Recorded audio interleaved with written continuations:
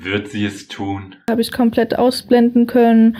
Von daher lebe ich da eher am Jetzt und Morgen. Dinge, die sicher nicht helfen. Ich habe in mir selber so diskutiert in meinem Kopf. Und eine verletzte Anna. Drei Prozent der Zuschauer für die ehrlichste Frau hier. Alter, und noch viel mehr gibt es in der 23. Folge von Love Island. Woo! In der letzten Folge haben Heinrich und Sandra ja eine Einladung in die Private Suite bekommen und da fragen wir uns ja wirklich alle sehr hart, komm, was passiert da? Und da schauen wir mal direkt rein, ne? Ich wusste das hier gar nicht so richtig irgendwie. Was, dass hier sowas ist? Ja. Verrückt, die Private Suite liegt im Geheimen. Damit hätte auch keiner rechnen können, oder? Wie schön, die es wieder gemacht haben, ne? Ja, Hendrik, schön wieder da zu sein, ne? Das hört Sandra gerne. Ach, ich war schon mal hier, all die schönen Erinnerungen. Ich habe schon ab und zu da an die Sache mit Aurelia gedacht, aber da habe ich komplett ausblenden können. Von daher lebe ich da eher am Jetzt und Morgen. Ich lebe im Jetzt und Morgen. Äh, Sandra, so geht der Spruch nicht. Vor allem, ich weiß nicht, ob es gut ist, wenn man im Jetzt und Morgen lebt, wenn man mit Hendrik gerade in der Private Suite abhängt. Das ist so, das ist gefährlich, oder? Genau, ich wollte dir einen Zaubertrick zeigen. Komm, setz dich hier vor mich. Ich möchte dir gerne einen Zaubertrick zeigen, Sandra. Wie diese 9 Zentimeter einfach verschwinden können. Tada! Ja, das passiert zum Glück nicht. Der hat irgendeinen Ring verschwinden lassen. Es war magisch. Ich kann mir auf jeden Fall vorstellen, wie Henrik sich fühlt, denn es ist schon scheiße. Wenn man dauergeil ist. Oder meint er, es ist scheiße, wenn man Henrik ist. Das könnte auch sein. Aber wir wollen hier mal nicht judgen, ne? Allerdings gibt's nicht nur Kuscheleien und Liebeleien in der Villa, sondern auch leichte Probleme. Nele redet mit Tim und denkt sich so, hm, lass uns morgen bitte nochmal weiterreden, das wäre sehr schön. Allerdings... Wenn äh, Melina mich dann nicht umbringt, wenn ich morgen mit dir darüber quatsch. das war ein lustiger kleiner Scherz, Nele. War halt nur doof, dass Melina direkt daneben stand und das hört. Und wenn Melina etwas hört, also ja generell, dann ist direkt Land unter. Habe ich schon sauer gemacht, ne? Hey Girl, red mit wem du willst. Oh mein Gott, die Alte hat einfach behauptet, dass Melina sauer wäre, wenn sie mit Tim redet. Das macht Melina jetzt erstmal sauer. Und dann war Melina sauer, hat es auch ein bisschen an Tim ausgelassen und es hat dann wieder ein bisschen gekriselt. Und dann musste sie draußen mit Anna reden. Ja, aber du bist doch eifersüchtig. Meine ich bitte was? Ja, wir sehen es schon. Tim hatte wohl den größten Fehler gemacht, den man machen kann, wenn man mit Melina abhängt. Er hat geredet. Sich allerdings wieder abzureagieren, hat sich Melina gedacht, hey, gehen wir mal zu den anderen Kandidaten, wir sprechen ein bisschen mit denen und helfen ihnen bei ihren Problemen, dann sind meine nicht mehr so wichtig. Weißt du, ich bin halt voll der Mensch, der merkt, ob da was ist oder nicht, wenn man so sich berührt. Und ich habe gemerkt, so je näher ich dem komme. Auch Melanie, gestern erst mit Murat verkappelt für ewige Liebe und heute schon keinen Bock mehr. Ja, hat wohl nicht so lange gehalten. Also es war wohl das kürzeste inoffizielle Couple, was es jemals gab. Glückwunsch dazu. Naja, aber während Melanie ein bisschen struggelt, sieht das Murat ein bisschen anders. Im Prinzip hast du für Melanie entschieden und fertig.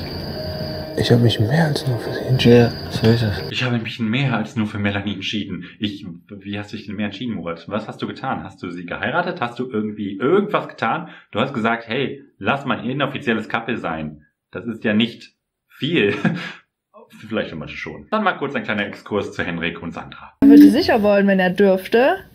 Aber er darf halt nicht. Sandra hält stand. Sandra, okay, ich habe eigentlich erwartet, dass sie nicht dafür gehen will, wo Aurelia auch schon lag. Aber ich habe dann kurz gedacht, dass Henrik schwach wird. Aber Henrik hat auch sich gesagt, nee, mache ich nicht. Und das verwundert alle.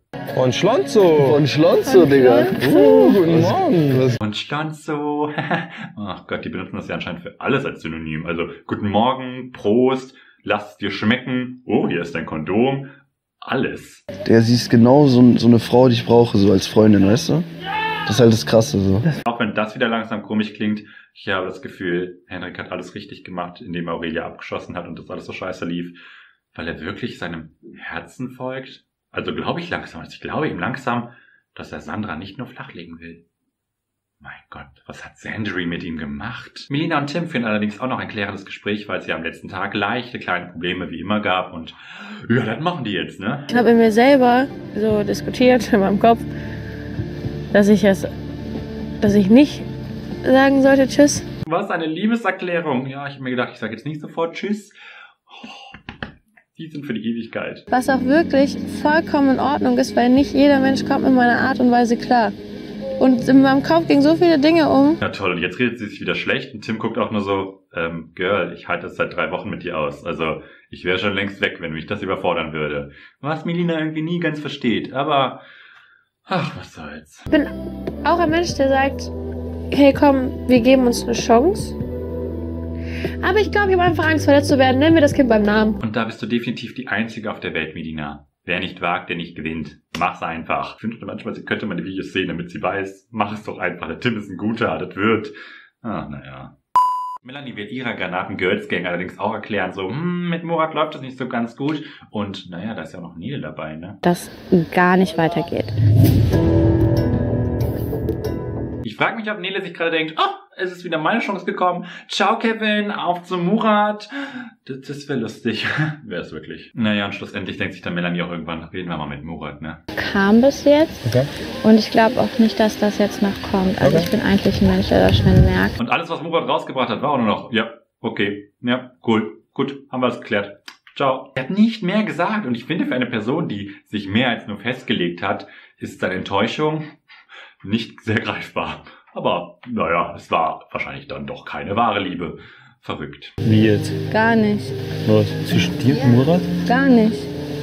Was? Schnell? Gar nicht. Naja, und da es nur noch einen richtigen Single gibt, denkt sich Melanie da so, los geht's! Gar nicht, es hat nicht geklappt, gar nicht hat es geklappt zwischen mir und Murat. Verstehst du das, Kevin? Ja, das waren so zarte Hints, dass Melanie wieder frei ist und Kevin denkt sich so, ja, mach ich, nehme ich, was soll's. Naja, und zum Abend ist dann wieder eine Party angesagt und alle Eiländer machen sich für die Party fertig.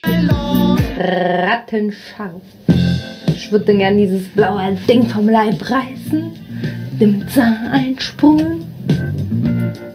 Okay. Okay. Können wir bitte auch auf Melinas Mimik achten, während Anna das sagt? Das ist ja sogar noch lustiger, einfach weil die so, was redet die da? Warum bin ich hier? Das war eine dumme Idee, mit ihr in die Talkbox zu gehen. Ah. Naja, egal, Partyzeit. Nee. Stehen da alle im Kreis und keiner hat was gesagt. Jeder hat diese Nachricht gehört. Warum? Ich fände es viel besser, wenn irgendwann mal das Handy vibriert und jemand sagt, oh, eine Nachricht, ich lese mal vor. Das, das wäre schön, aber passiert leider nicht. Ich weiß nicht, ob ihr die Serie Tel Teletubbies noch kennt, aber die Sonne, die da immer aufging, dieses lachende Baby, das war ich. Also jetzt, wo er es sagt, die Ähnlichkeit ist definitiv nicht da. Verblüffend. Wir haben Sie gefragt, wie Sie euch einschätzen. Und das werde ich jetzt einigen von euch verraten. Ich werde einigen von euch verraten, was die Zuschauer so gesagt haben. Die, die wir verletzen wollen oder auseinandertreiben wollen oder sonstiges. Nein, okay, haben sie nicht gemacht. Die haben ein paar nette Sachen gesagt, aber halt auch das zu Anna. Drei Prozent der Zuschauer für die ehrlichste Frau hier. Und Anna so, oh mein Gott, ich bin die unauthentischste. Naja, vielleicht sind doch einfach alle anderen nur viel authentischer. Ich meine, Anna ist jetzt auch nicht die hinterhältigste überhaupt, aber naja, also, naja, ne? Naja, und schlussendlich gibt es eine Paarzeremonie und alle müssen sich halt hin und her entscheiden. Die bestehenden Couples bleiben. Ist also nur interessant, was Kevin und Murat tun und Kevin macht das hier. Die Frau ist Melanie.